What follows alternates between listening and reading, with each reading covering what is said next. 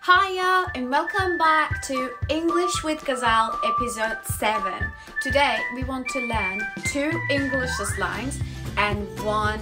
word.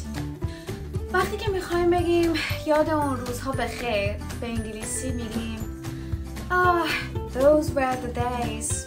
those were the days وقتی هم که میخوایم بگیم در نومیدی بسی امید است میگیم every cloud has a silver lining Every cloud has a silver lining. به جایی که هی میخوایم یه چیزی بگیم وای خیلی عالی خیلی فوق العاده است به انگلیسی هی نگیم Oh it's good or it's great بگیم That's exceptional or That's remarkable یعنی استثنایی و فوق العاده